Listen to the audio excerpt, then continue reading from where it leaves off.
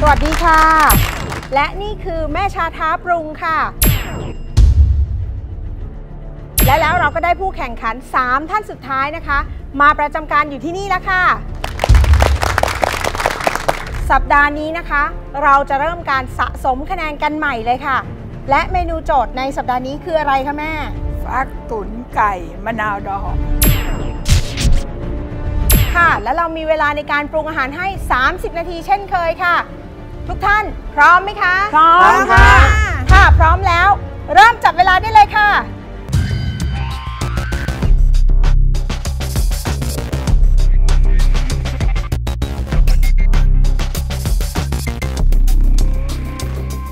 ตุ๋นเนี่ยรสชาติจะไม่รุนแรงจะไม่เค็มจัดไม่เปรี้ยวจัด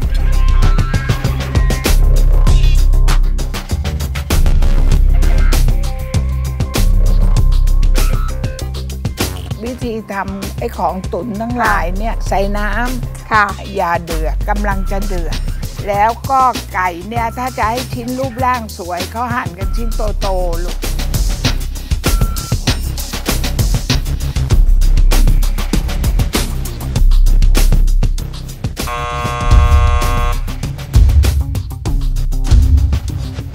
เอาละค่ะ ตอนนี้ก็ถึงเวลา ให้คุณแม่สุชาได้ชิม แล้วก็ให้คะแนนกันเลยค่ะ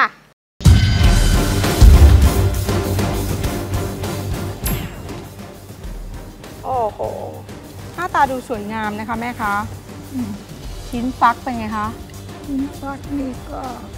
ดูความหนาความหนาโอเคค่ะคำว่าตุ๋นชิ้นฟักต้องค่ะหนาค่ะนะคะ ถ้าแกงจืดเราก็หั่นบางๆ ใช่ไหมอ๋อแกงจืดจะบางกว่านี้ได้ ใช่ อันนี้ตุ๋นเพราะเราต้องเคี่ยวนาน ค่ะ อยากจะติสักหน่อยเองว่าทำไมไม่มีไข่ทอดไก่ก่อนนะ ไก่เนี่ยเราเข้าเกลือแล้วก็ทอดนิดๆไม่ใช่ทอดค่ะจนเหลืองนะค่ะทอดพอให้มันเข้ารูปอยู่ตัวก็โอเคคำว่าตุ๋นมะนาวดองต้องออกรสเปรี้ยว นี่ก็มีทั้งเปรี้ยวทั้งเค็มค่ะ มีขมไหมคะแม่คะ ไม่มีเดี๋ยวไม่มีเคี่ยวหรยัองไม่นานแต่ใส่มะนาวทั้งลูกค่ะ สะใจไม่ได้ เปล่าแค่มีความรู้สึกว่ามันขมนิดนึง ความรู้สึก แต่ใช่ถ้ากรรมการคิดว่าไม่ขมก็แล้วแต่เอ๊ะแดกดันด้วย อันเนี้ยค่ะ ใส่มะนาวทั้งลูกใช่ไหม ใช่ค่ะ ใส่มะนาวทั้งลูกนี่เคี่ยวไปอีกสักสิบนาที ผิวมันจะออกแล้วนะ คือมันได้กลิ่นแล้วได้กลิ่นผิวแต่รสชาติยังไม่มา นี่เขาบอกขมแต่เราแก่นะลิ้นอาจจะหนากว่า แม่คะ เราต้องชิมฟักไหมคะ กุ้งชิมเถอะสละให้ลูก แม่มองดูก็รู้มันยังไม่เปื่อยค่ะ คือจริงๆแล้วก็คือ อันนี้มันอยู่ที่เวลาที่ทำด้วยนะใช่ไม่นะคือจใช่ริงๆไม่ไม่เป็นไรถูกไหมคะเพราะว่าเวลาเรามีน้อยอันนี้ เครื่องตุ๋นทั้งหลายค่ะเนี่ย ไม่ต้องการให้เดือด คือเดือดแบบเดือดพร่านนะไม่ได้ทุกอย่างมันจะรีบสุกรีบหดหมด ก็ต้องไฟลุมๆไม่เดือดป๊อกป๊อกป๊อกไปเรื่อยแต่เรียกว่าอันเนี้ยแม่ก็จะมีชมเรื่องว่าโอเคชิ้นฟักหนาดีถูกไหมๆค่ะคะเหมาะกับชื่อฟักตุ๋นค่ะเอ๊ะก็มีหนาบ้างบางบ้างนะคะแม่คะก็ลืมยังลืมไปอย่าไปมองเยอะ ส่วนใหญ่ส่วนใหญ่ก็ยังหนาค่ะคือส่วนใหญ่ต้องหนายังหนาเพราะค่ะว่าเราจะต้องตุ๋นนานค่ะแต่ถ้านี่ถ้านานกว่านี้นะค่ะฟักก็จะนุ่มอือฮึนะคะ แล้วไก่ก็จะเปื่อยพอดี ค่ะ แล้วเทคนิคอีกอย่างหนึ่งก็คือว่าจริง ๆ แล้วอะถ้าอยากให้ไก่อยู่ทรงดีหรืออะไรก็คือต้องทอดทอด ซะก่อนทอดแบบว่าพอสุกใช่ไหมทอดคะแม่สุกทอดเพื่อพอตึงๆอะค่ะค่ะ ให้หนังมันตึงๆ แล้วค่อยนำไปต้มใช่ไหมคะ อ๋อที่สำคัญที่กุ้งได้ความรู้อีกอย่างจากแม่ที่เมื่อกี้แอบคุยกันข้างนอกนะคะ ก็คือว่าเพิ่งทราบเหมือนกันว่าตุ๋นกับแกงจืดนี่ไม่เหมือนกัน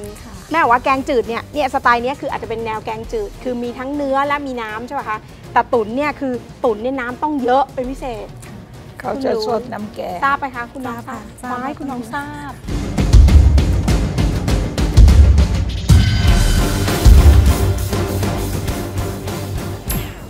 เคยทำครั้งแรกอีกปะฮะส่วนมากทำต้มฟักครับตุ๋นยังไม่เคยอ๋อตุ๋นไม่เคยแม่ เลยกลัวไม่รู้มีมะนาวด้วยไม่เห็นเปล่า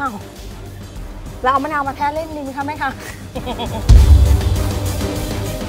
คือตุ๋นเนี่ยลูกค่ะถ้าแกงจืด ค่ะ จะหั่นฟักบางครับ อือฮึ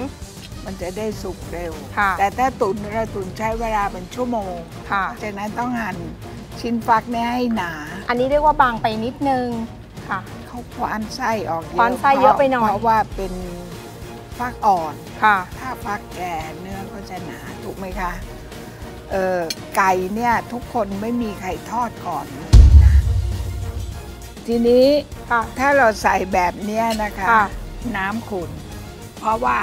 ไฟเดือดน้ไฟแรงน้ำเดือดมันจะทำให้น้ำขุ่นอือฮึ คำว่าตุ๋นนี่คือเปิดไฟปานกลาง ค่ะ แล้วแต่น้ำในหม้อมากน้อยนะคะ ค่ะ มันจะเดือดเมื่อเอ่ยก็เมื่อนั้น แต่มันเดือดพุ่งพุ่งพุ่งไม่ได้ เราต้องหลีให้กลับลงมา แล้วก็ไก่เนี่ยถ้าจะให้ชิ้นรูปร่างสวยเขาหั่นกันชิ้นโตๆลูก อันนี้จิ๋วไม่ไป อันนี้จิ๋วไปมันเลยทำให้เราดูไม่น่ากินไง ค่ะ คุณรูปเกลือแล้วคุณก็ไปทอดพอให้หนังเนี่ยเข้าหดอยู่กับที่ แล้วเราก็มาตุ๋นไฟลุมๆไปเรื่อยๆคำว่าตุ๋นน้ำต้องเยอะนะคะ เพราะว่าคำว่าตุ๋นนี่เขาก็จะซดแต่น้ำแกงนั่นเองค่ะ มะนาวดองใส่ทั้งลูกอย่างนี้ไม่ได้นะ เวลาเวลาเราจะใส่มะนาวหมายความว่าเราชิมรสชาติโอเค ทุกอย่างแล้วแต่ยังไม่มีกลิ่นมะนาวดองมะนาวดองเนี่ย คุณต้องมาทำอย่างนี้แล้วก็ให้มันแตกแค่นี้พออืมอันนี้แค่คือเนี้ยทำค่ะทำทำที่ไหนคะ ทำในหม้อคนในนี้หม้อมันจิ้มในหม้อไม่ได้ ไม่ใช่ไม่ใช่หมายถึงว่าทำเมื่อกี้แม่บอกกุ้งว่าทำก่อนลงหม้อถูกไหมก็นี่ไง นี่อ่ายัยังไม่ได้ใส่หม้อทำแบบนี้นะคะอือฮึ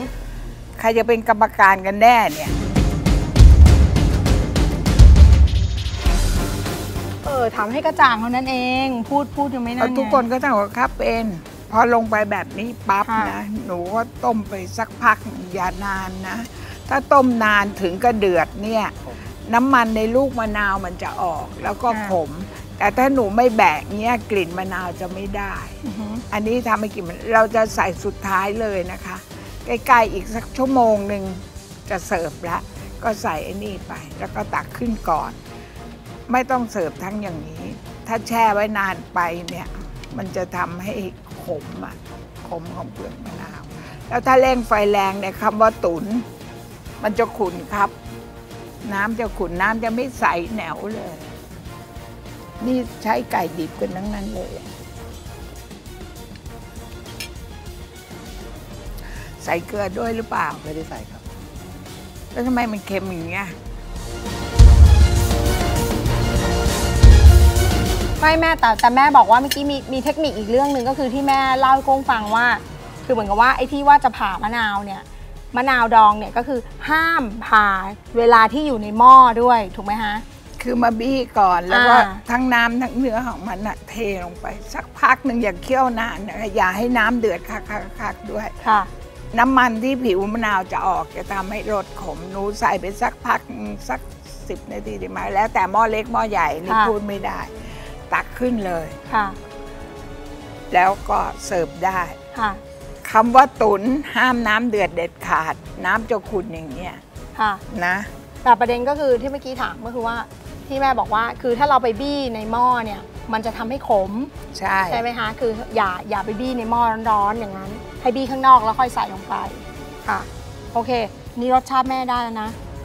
เค็ม เออชิมแล้ยัวงไม่กลมกล่อม อ่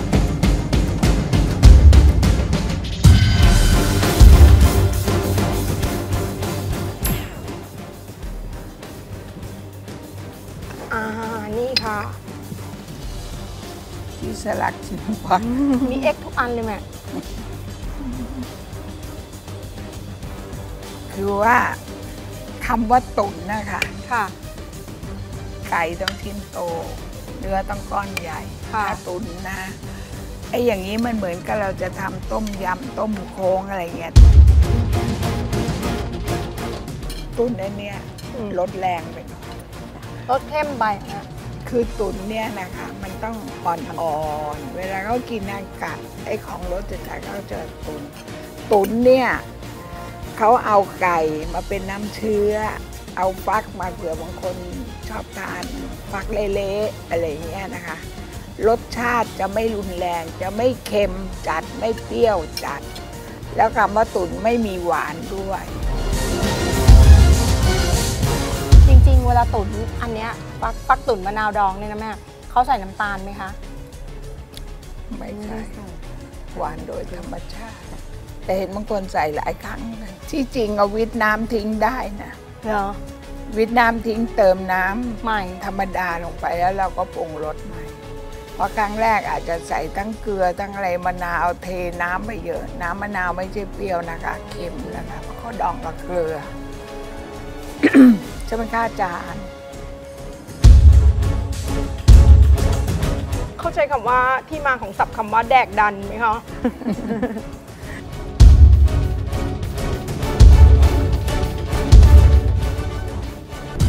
และเมนูฟักตุ๋นไก่มะนาวดองนะคะ ผู้ที่ได้คะแนนน้อยที่สุด ได้แก่หมายเลข หมายเลข 2 ค่ะ คุณเจค่ะ และสำหรับผู้ที่ได้คะแนนสูงที่สุดในสัปดาห์นี้นะคะ ได้แก่หมายเลข หมายเลขหนึ่งค่ะ คุณน้องค่ะสำหรับผู้แข่งขันทั้ง 3 ท่านที่เหลืออยู่ ก็ต้องระวังตัวเองเหมือนกันนะคะ เพราะว่าคะแนนเนี่ยสูสีกันสุดๆค่ะ แล้วก็เหลือเพียงอีกแค่ 2 เมนูเท่านั้นที่จะให้ได้แสดงฝีมือกัน จะเป็นเมนูอะไรนั้นนะคะ ต้องคอยติดตามชมสัปดาห์หน้าค่ะ วันนี้เราทั้ง 5 คนต้องขอลาไปก่อนนะคะ สวัสดีค่ะ คะแนนสูสีกันแบบนี้ใครจะเป็น the winner ต้องมาลุ้นกันแล้วล่ะค่ะ